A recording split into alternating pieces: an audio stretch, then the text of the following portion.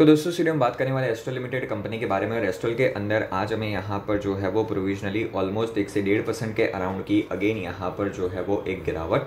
और उसी के साथ आज वापिस से काउंटर के अंदर हमें यहाँ पर एक शार्प नेगेटिव क्लोजिंग भी देखने को मिली है। अब देखो दोस्तों ओवरऑल मार्केट नेगेटिव था, यहाँ पर काउंटर के अंदर गिरावट एक्सपेक्टेड थी एंड वही गिरावट यहाँ पर जो है वो हमें चलती हुई देखने को मिली है। बट ओवरऑल देखो दोस्तों एस्ट्रल क्योंकि यहाँ पर हमें अब मेजर सपोर्ट पे ट्रेड करता हुआ देखने को मिल रहा है तो अब आने वाले जो दो तीन दिन रहेंगे वो काफ़ी ज़्यादा क्रूशल रहने वाले हैं। क्यों?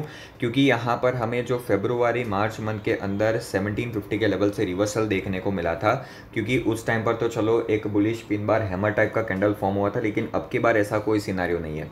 सो so, अगर ये 1750 के लेवल्स को ब्रेक करके अगर एस्ट्रल नीचे निकलता है तो डेफिनेटली हमें काउंटर के अंदर अपकमिंग डेज़ में फर्दर सेलिंग भी देखने को मिल सकती है। एंड वो सेलिंग कहीं ना कहीं फिर डायरेक्टली सिक्सटीन हंड्रेड रुपीज़ तक भी लोअर साइड पर कंटिन्यू ज़रूर होगी।